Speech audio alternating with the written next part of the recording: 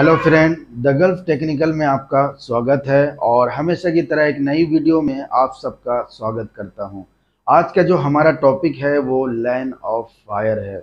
Line of fire हमारे rigger के अंदर इतना ज़रूरी क्यों है? और हमें इसे क्यों फॉलो करना चाहिए? हमें इन चीज़ों को अच्छे से समझ लेना चाहिए, क्योंकि जब हम साइड पर होते हैं, हमारे साथ काफ़ी ज़्यादा लोग भी होते हैं तो वहाँ पर लाइन ऑफ़ फायर काफ़ी ज़्यादा होता है। और हम भी काफ़ी ज़्यादा टाइम पर इस तरीके की गलती कर लेते हैं। काफ़ी इंसिडेंट काफ़ी एक्सीडेंट भी इन हादसों में हो चुका है। इसके लिए सबसे ज़्यादा फोकस हमें लाइन ऑफ़ फायर में भी करना चाहिए।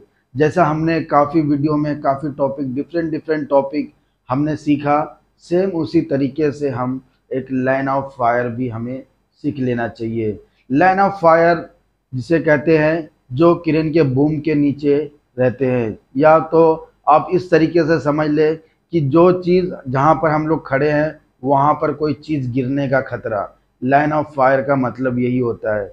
जैसे हम बूम के नीचे खड़े होते हैं, वहाँ पर बूम गिरने का खतरा होता है। जैसे आप बूम के नीचे देखे होंगे, लिखा होगा do not stand under the boom इस तरीके से आपने देखा होगा।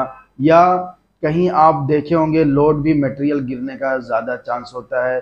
या नट बोल्ट कहीं गिरने का भी ज़्यादा चांस होता है, या जो हम लिफ्टिंग जो मटेरियल बांधे हैं, उसके नीचे कहीं पत्थर हो या कभी कुछ और भी हो सकता है तो इन सब चीज़ों से हम कैसे बचेंगे? Line of fire line of fire यही चीज़ को कहते हैं बूम के नीचे हमें नहीं रहना है लोड के नीचे हमें नहीं रहना है, जो भी हम लोड बाँध दिए उसको प्रॉपर चेक करना है। चेक करने से पहले आप पहले उसको देखें कि कहीं उसके अंदर कोई नट बोल्ट तो नहीं है। तो जब हम लोग इस, इन सब चीज़ों को जब हम लोग चेक कर लेंगे तो हम लोग सेफ़ हो सकते हैं।